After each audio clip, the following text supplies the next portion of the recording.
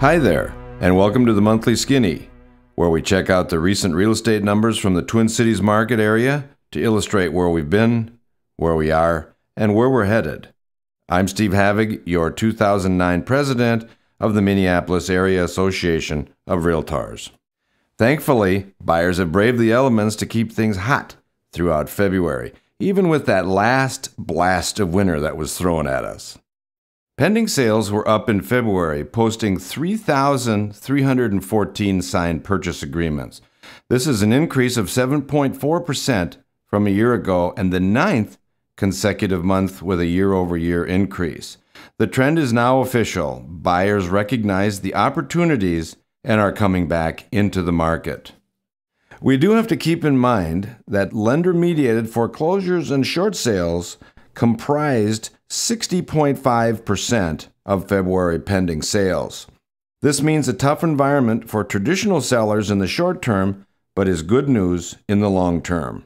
It is important for these lender mediated homes to sell through the market cycle as quickly as possible for the market to return to normal.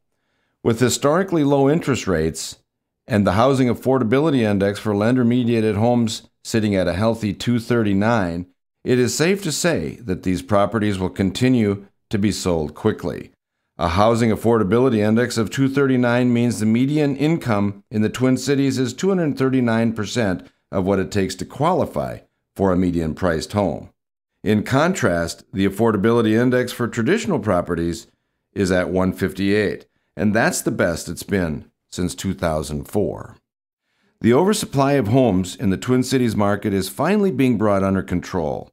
The number of new listings for the month of February was 6,648, down 19.4% over last February. This is also the 14th month out of the last 15 with a year over year decrease. The total inventory is 25,825 units, and this is down 4,017 from this time last year. The real dark horse, obviously, is the recession. Job losses and weakened consumer confidence are at one end discouraging home sales, while low mortgage rates, high affordability, and the new $8,000 federal tax credit for first time homebuyers are at the other end bringing sales up. So far, the recession hasn't been able to keep consumers away from purchasing homes. Even with all the economic uncertainties going around, there are still plenty of reasons for buyers to get out there. Well, that's it for this month.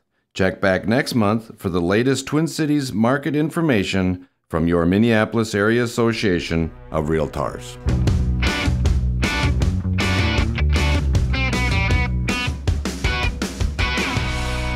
And I'm cool with that.